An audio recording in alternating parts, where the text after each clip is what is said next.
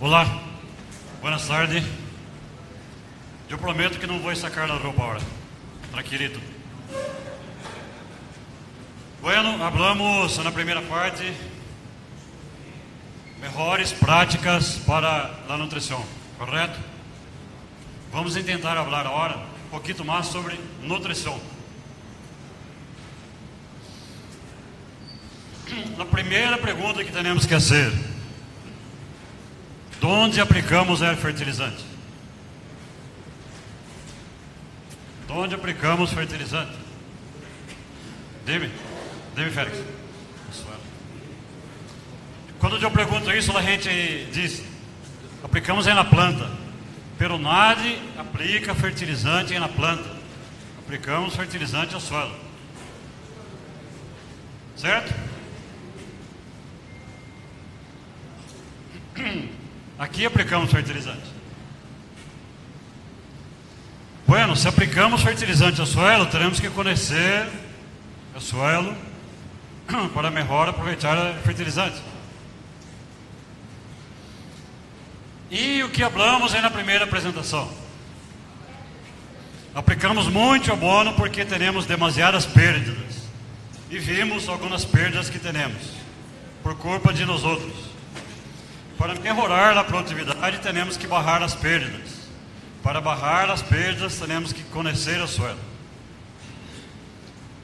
Aí é que vamos então. Mira, temos vários, vários, vários tipos de suelo. Aqui não estão todos. Aqui estão, estão alguns. Teremos demasiado tipo de suelos. Não podemos tratar um suelo igual que é outro. Pero, como não podemos falar de todos os tipos de suelo que temos, vamos falar só de dois, que são totalmente opostos. Arenoso e arcilhoso. Aqui está em português pelo Arcília. Ok? São totalmente opostos. Aí a gente habla, ah, eu tenho solo, solo malo, solo bueno. Não existe solo malo, solo bueno. Que existe falta de conhecimento, de saber manejar o solo. Temos que manejar de maneiras diferentes. Então vamos lá ver a diferença entre solo arenoso e arcilhoso. Arenoso tem partículas mais grandes e tem mais ar. E arcilhoso tem partículas mais pequenas e menos ar. Esse seria o solo. Esse seria arcilha e esse seria arena. Pero, vamos a ser um de burro melhor todavia. Esse está excelente. Arcilhoso, arenoso.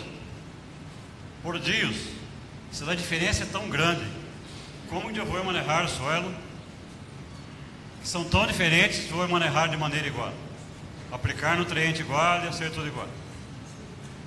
Não há forma. Para manejar o solo, eu tenho que entender como se alimenta a terra, como se alimenta o suelo. Aí está, imaginando, certo? Esse é arcilhoso, aqui, arenoso aiá, partículas mais grandes, pero não é só isso a diferença. A diferença principal vem a hora, que a partir do momento que entendemos isso, sabemos como vamos aplicar fertilizante. Aí está a diferença principal. Onde está a coisita? Mira, arenoso. Partícula mais grande. Tem mais ar entre um e outro. E aqui, vamos falar, vamos dizer que esses ganchos aqui são as bocas. As bocas do solo. Certo? Arenoso, arcilhoso. Arcilhoso tem mais boca mais gancho. Agronomicamente, agronomicamente, podemos chamar isso aqui de CIC. Capacidade, intercâmbio catiônico. Pero, é a mesma coisa. Então, se eu tenho que aplicar um quilo de fertilizante ao lanho em um mesmo cultivo, pero em diferentes tipos de suelo, eu tenho que aplicar de maneira diferente. Não vou aplicar da mesma maneira. A forma correta de aplicar o fertilizante é tão ou mais importante que a quantidade aplicada. Aí a gente aplica uma quantidade grande de fertilizante e não tem o resultado esperado. Por quê? Porque não foi hecho nada, nada bem. Ou foi hecho tudo mal. Muito bem. Quando hacemos o manejo correto, logramos os resultados esperados. Então, assim, vamos entender um pouquinho melhor isso aqui. Temos que entender isso para saber como hacemos a aplicação de fertilizante. Dica. Hora de eu necessito uso assim. Ah, qualquer faceta aqui, o grande no pequeno. Aqui, a dois no pequeno. Servir os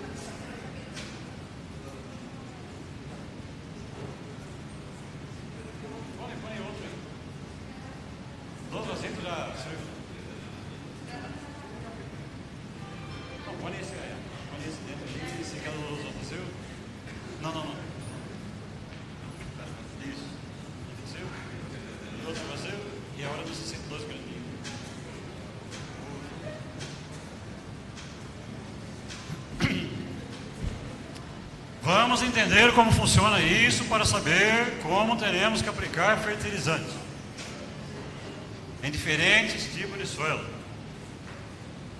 Falta vasilha já vende. E a botelha de água. Outra botelha. Ok.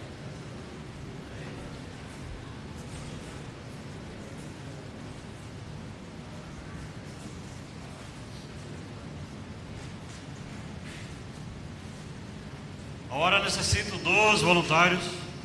Vamos, Tica? Você queria saber para que serve a vaso? Me ajuda aqui. Por favor. Por favor.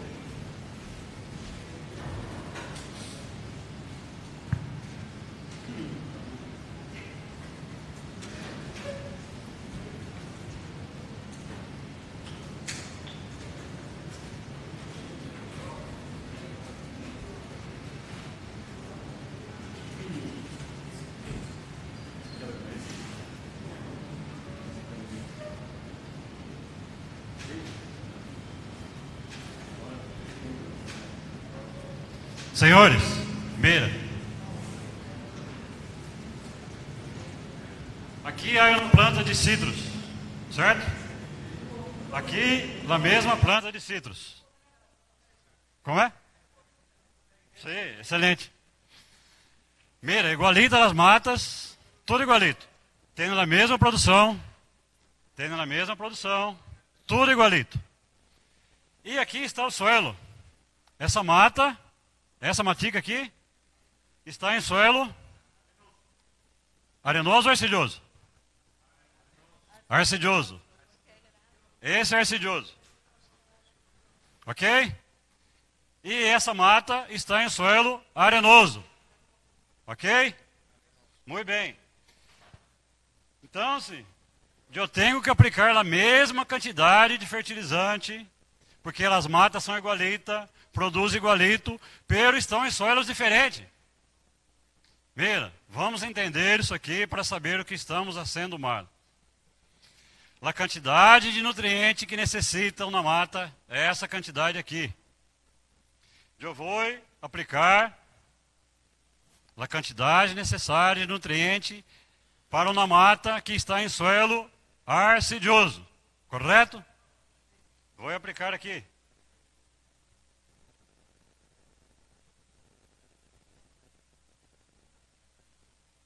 Quanto aproveitamos aqui? 100%? Não é perdido nada? Então, assim, eu tenho que aplicar a mesma quantidade de fertilizante em uma mata que produz a mesma coisa. pelo está em um solo arenoso. Eu vou aplicar a mesma quantidade.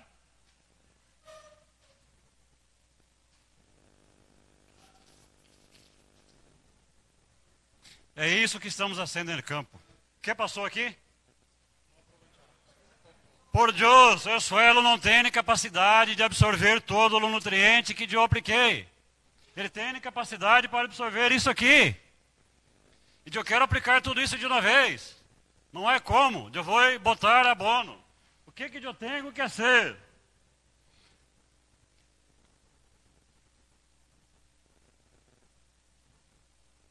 E agora? Los dos. Sim, los dos.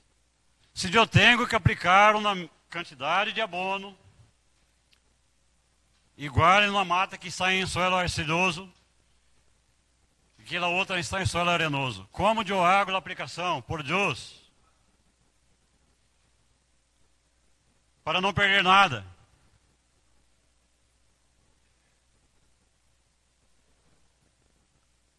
Que eu apliquei aqui em uma vez, em essa mata, que está em solo arcilhoso, eu tenho que aplicar em 12 etapas em solo arenoso.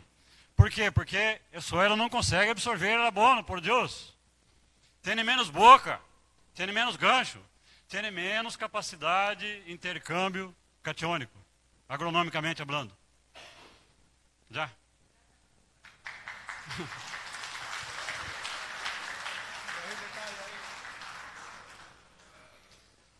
Conseguimos entender isso, por Deus? Essa era a base da, da nutrição. Eu não posso aplicar abono, fertilizar um suelo arenoso da mesma maneira que eu hago a fertilização em solo arenoso e arcilhoso são diferentes.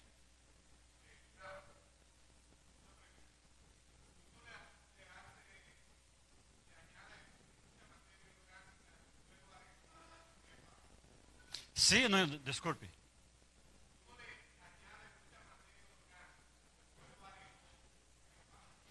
Mira. Então, se temos esse. Vamos ver aqui. Ok. Temos dois tipos de suelo, correto? Arcilhoso e arenoso. Arcilhoso, eu posso aplicar mais abono, porque consegue absorver mais abono. Arenoso, eu tenho que aplicar em várias etapas, porque a capacidade que tem é chiquita. Ah, eu quero aumentar a capacidade de intercâmbio catiônico em esse suelo aqui. Eu quero aumentar as bocas. Eu quero aumentar a capacidade de absorver nutriente. Só há uma maneira. Se alguma pessoa falar outra coisa, eu não sei o que, estar, o que vai estar, estar falando. Pero só há uma maneira de aumentar as T e C, as bocas, el a capacidade de absorção desse suelo. Só há uma maneira: aplicando matéria orgânica. O que hace com que um suelo tenha mais capacidade de absorção de nutrientes que outro? Quantidade de matéria orgânica. Ah, eu quero melhorar meu suelo. O que, que eu tenho que fazer? Aplicar matéria orgânica. Pero, teria que ter outra, o dia todo, para explicar como funciona a matéria orgânica. Pero, o importante é entender isso aí. Ok?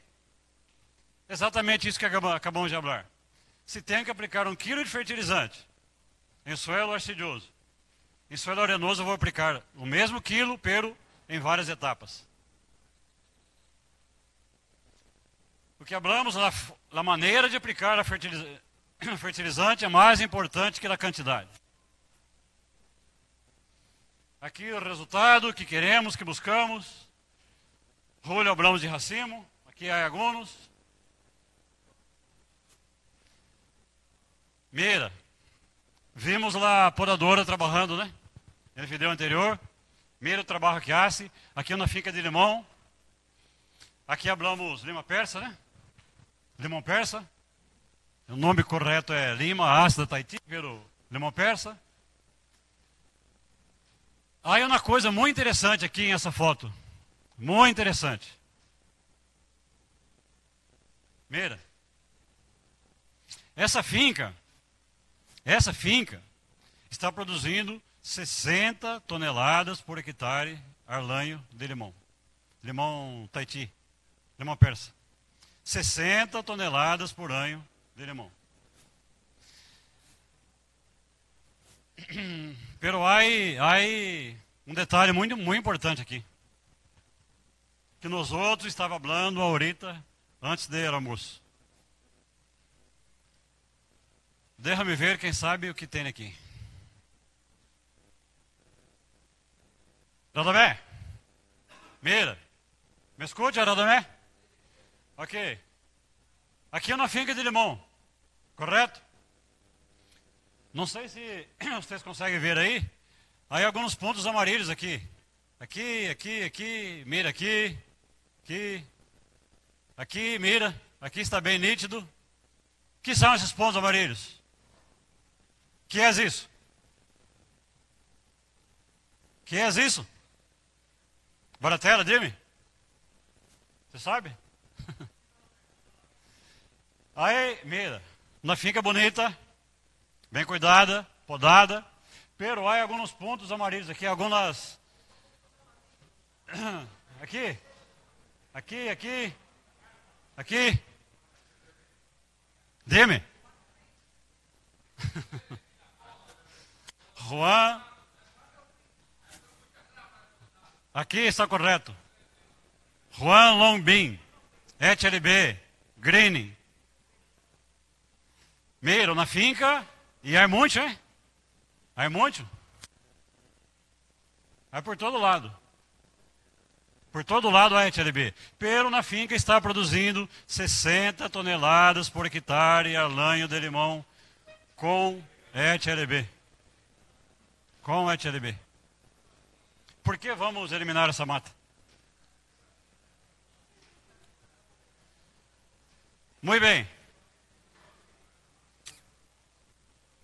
As pessoas que trabalharam comigo não necessita responder. Pero, quem sabe contestar isso, por favor, dime. De todos os elementos que hablamos hasta hora, todos. Qual era o elemento mais importante em todo o processo de produção? Ok, dentro da nutrição, qual é o elemento mais importante? Qual? Nitrógeno. Quem dá mais? Quem dá outro? Potássio. Outro. Fósforo. Outro. Elemento mais importante dentro da nutrição.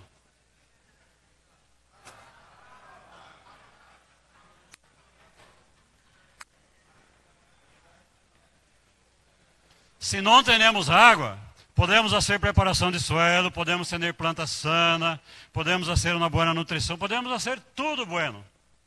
Se não há água, tudo se botou. Elemento mais importante dentro da nutrição se chama água. Muito bem. Então, se mais ou menos, isso não é exato, para produzir um quilo de limão, quanto eu necessito? Não sou eu que estou falando porque eu não sei nada. A gente que entende aqui que está falando. Para produzir um quilo de limão, um quilo de limão, necessita 646 litros de água. Muito bem. Estamos falando que queremos produzir no mínimo 10 toneladas por hectare. Ok, vamos fazer a conta então. Para produzir 10 toneladas por hectare, eu necessito de 6 milhões 460 mil litros de água. Arlanho, bem distribuídas. Ah, pelo eu he hecho tudo bem. Apliquei a quantidade de abono, correta, preparação de solo correto, tudo excelente. Pero, ao invés de ter 6 milhões de litros de água por ano, eu consegui ter 3 milhões, lá metade disso, 3 milhões de litros de água. Quanto eu vou produzir? Na metade eu vou produzir exatamente na quantidade de água que foi que foi suficiente. Portanto, exatamente isso que hablamos. Se hacemos tudo bem e a quantidade de água é na metade, vamos produzir na metade esperada. É isso que buscamos. Essa não é a mesma foto, é outra foto, outra finca. É isso que queremos. Assim que teremos que ser lo que há que ser. Ah, não me gusta ser isso. Não lhe gusta ganhar dinheiro. Não me gusta ser outra coisa. Temos que ser o que tem que ser. Eu tenho na finca em um suelo arcilhoso. Você tem na finca em um suelo arenoso, por exemplo. Se eu aplico fertilizante três vezes ao ano, você tem que aplicar no mínimo seis vezes ao ano. Se eu aplico seis vezes ao ano, você tem que aplicar no mínimo 12 vezes ao ano, todos os meses. Não há sentido, não vai servir de nada aplicar tudo de uma vez. Vai passar o que passou aqui. Vamos botar toda a água, todo o abono.